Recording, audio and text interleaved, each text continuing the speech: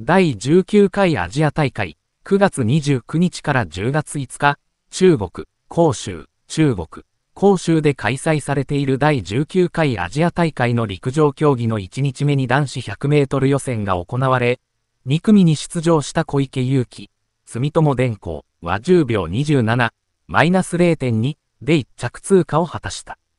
100メートル桐生義秀が2着で順当に準決勝へ、自分の走りに集中できたアジア大会スタートの反応は良かったもののバランスを崩してやや遅れを取った。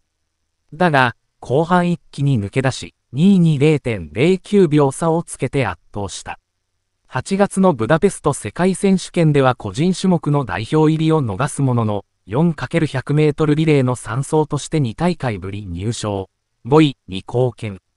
昨年冬から米国に拠点を移し、フォームを一から構築しているが、それがまとまりつつある。前回のジャカルタ大会200メートル王者が、100メートルでアジアの頂点に立つべく好スタートを切った。準決勝は明日19時30分、日本時間20時30分、決勝は同21時55分、日本時間22時55分に行われる。月陸編集部